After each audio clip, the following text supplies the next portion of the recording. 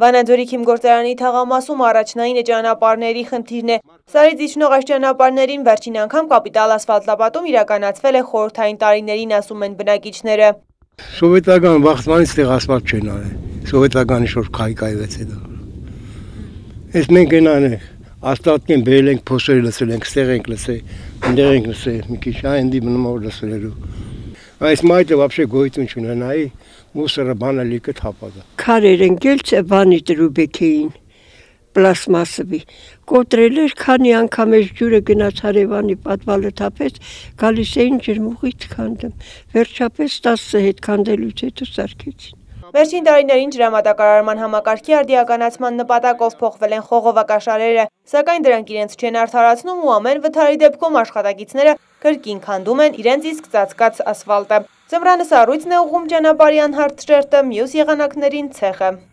որտեղ որ ոտներս դնում ենք վեր ենք ընկնում ցավը տանեմ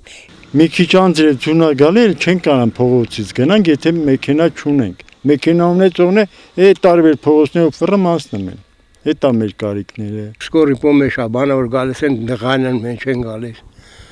Տաքսիներ որ գալիս են հայում են, մապսենսներ կեի փողոց որ գնում ես ներնես նա։ Այնտեղ вообще քանդած է։ Ասֆալտեք գոյություն չունի։ Այստեղ էլ մենք էլի մի քիչ բերինք լսենք, հեսա կեսն է մնում այստեղ։ Դաշնանը բնակիչները շուրջ 200 հոգու ստորագրությամբ գրավոր դիմել էին համայնքապետարան, պատասխանել էին, որ թաղամասի ճանապարհաշինության հարցը կներառվի արդեն 2018-ի ծրագրում։ Ստացվում է, որ եթե այսքան տարի փողոցը դիմակայել է կլիմայական փոփոխություններին ու մեքենաների հոսքին, ապա հերթական ձմեռն ու հալոցքը եւս կտանի։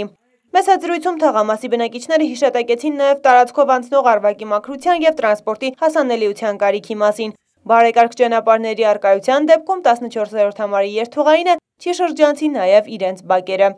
Էրմինե Յավերյան, Մհեր Թադևոսյան, Մոլորակ։